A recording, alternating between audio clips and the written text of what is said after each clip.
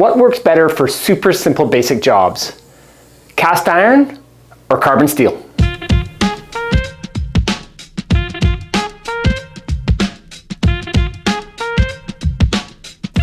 Hi, I'm Jed, this is Cook Culture. So today I'm doing a very, very simple job and this is gonna be a quick and to the point video. I'm using a number 10 field skillet and I'm using the 12 inch, 12 and a quarter, 12 and three quarter inch Matfer a fry pan. Um, why is one called a skillet and one called a fry pan? Good question. Uh, so what I'm doing today is I'm going to just cook onions. And the idea here is that I'm going to see which one of these two pans is preferred, you know, by me because it's going to be a personal choice, but you visually, um, which one is going to do a better job at this simple, simple task. So I've got two pans that are about the same age, seasoned about the same way or as well as each other. Uh, one, of course, is lighter than the other. So the Matfer is about a pound lighter. So five and 5.12, five, five pounds, 12 ounces or so for the field and just over that, though it's four pounds, 13 ounces or so for the Matfer. So the, the Matfer is a lighter pan. That will be a difference for sure, that always is. Weight is a consideration all the time when we're using cookware. Um, but we are cooking under a medium heat here. I've got this set, both pans set equally at a six out of 10 or the, the, the induction cooktop that I'm using goes to nine in a boost, and the boost is a, a big power uh, hit. Uh, so they're you know, well over halfway. So I'd say, you know, out of a scale of 100%, they're probably sitting at around 65% temperature. So what I'm gonna do today that I don't usually ever do is that I'm gonna use an infrared gun to get the surface temperature of the two pans and then also as we're cooking.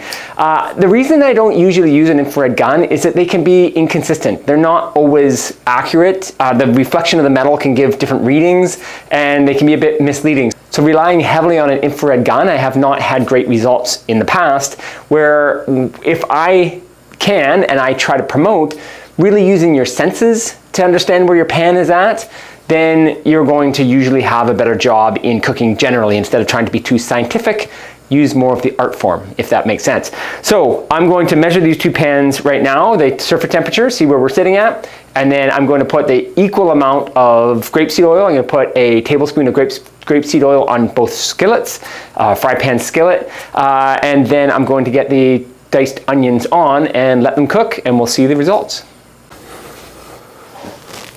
Okay, so what do we got here?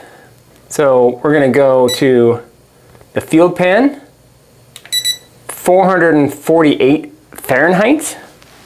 I'm going over to the Matfer. 272. Get a little closer. Okay, if I get closer, I'm at 300-ish. 450.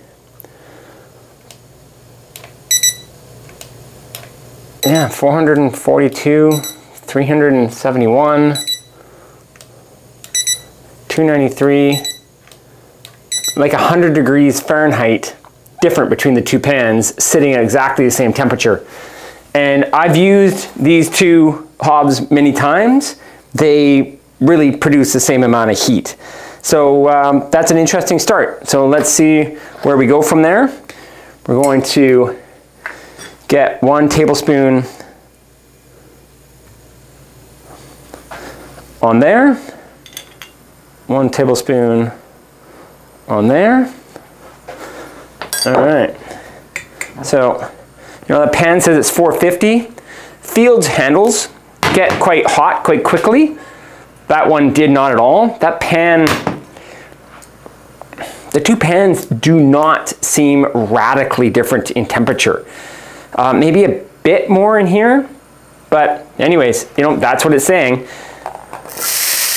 Okay, so we've got an equal amount of diced onions. Quite a lot in each pan, so we're going to be pushing the capacity here. And now we're just going to let these guys cook away. Okay, so these guys have been cooking for about 10 minutes and they're just starting to soften nicely. So the heat is not very excessive. Like, this is not a way to brown and get these guys crispy too quickly. Uh, but, you know, interestingly, that 100 degrees different Fahrenheit uh, that I showed you earlier when I was measuring the pans, it's not equating to any real difference, really. Maybe the one in the field is cooking a little bit faster, uh, and I'll show you that right here. But, you know, things are working pretty equally. Uh, what I'm going to also do, just make a little hole in each one of these here and measure the pan again. So uh, we'll take a look at that. Okay, so we'll go measure the pan. What do we got here? I'm gonna measure in the middle,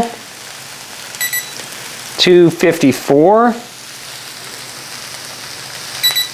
255, okay, so now things are looking the same temperature. 311, 317,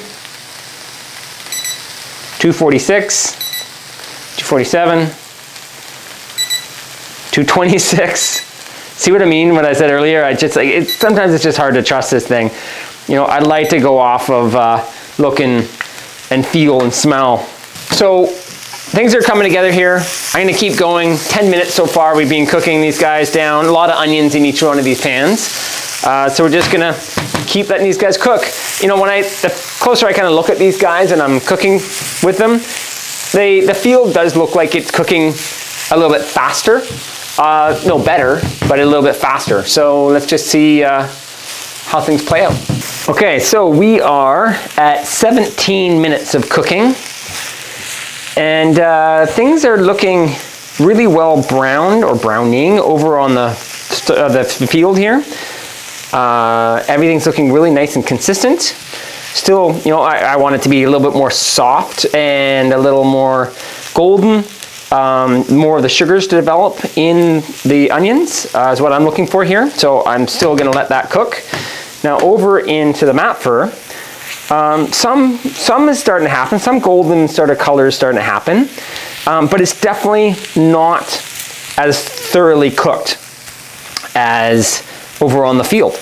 Uh, it's, it's cooked, but it's just less cooked. So, you know, that heat that it showed originally, the, the pickup in heat, uh, very well could have been that. Like I've said, I've, I've used these two burners a lot and the two outside ones are very, very similar. This inside one can sometimes be a little bit cooler than the two outside ones. Uh, I don't know why in an electric cooktop that that's how that is, but uh, um, you know, it's, it's cooking well and everything's perfectly done. It's just that I'm finding for what I like, the browning, the color, the flavor to me is developing better in the field uh, from what I see. So uh, yeah, we'll just continue to let it go. I'm, I'm not ready to finish either one of these guys yet here. Uh, I want to get some more flavor in, in both of them. I've added salt and some garlic powder to both of these to season them. So we're just going to let them keep cooking. Okay, so things are starting to look a little bit jammy here, and that's the look that I'm going for. I want them to be a little jammy. And so that's happening in the field. And then when I move over to the Matfer, like things are cooking and it's looking great. It's just not as gold. Um, you know, there's, there's, there's no issue here. Uh, it's just not as browning. And I find for me, browning develops that flavor. But, uh, you know, it's starting to jam just a little bit. But, uh, you know, it definitely it is behind, you know, just in the whole process here. And we're chasing 20 minutes. Um, that is behind the field pan. Okay, so we're at 25 minutes. And these guys here are looking fantastic. And we're going to turn those ones off, but I'm going to keep cooking the Matfer Actually, with the Matfer, I might even, they're cooked. I'm just gonna turn it up one number, so from six to seven, just to brown them a little bit. Try to get them to be match more like the, uh, the field pan here. So I'll give those a few minutes at a little bit of a higher heat. All right, so interesting tidbit here. I've cranked up the heat just a little bit, and I'm starting to get some carbonation. So I'm starting to get some like, not burning, but cooking food onto the surface here with the higher heat. And so it's starting to give me some browning, which is excellent. But over here, you know, I just give this little wipe out and that pan had nothing stuck onto it. There was no scrubbing needed. I just rinsed it out where I am, to get the same browning, I'm having to turn up the heat and that's, you know, not that that's gonna be a big deal. My chainmail will get that out without an issue, but it's just a little bit different. Okay, so those guys are done, 30 minutes. More heat, more food cooked onto the surface, um, but they are looking fantastic. We'll get them into the bowl and we'll have a side-by-side -side comparison and a bit of a taste test. All right, so first, the Matfer. Hmm. I love cooked onions. One of my favorite, salty, garlicky. Oh, they're so good. That was from the Matfer. Beautifully done, absolutely beautiful. So from the field,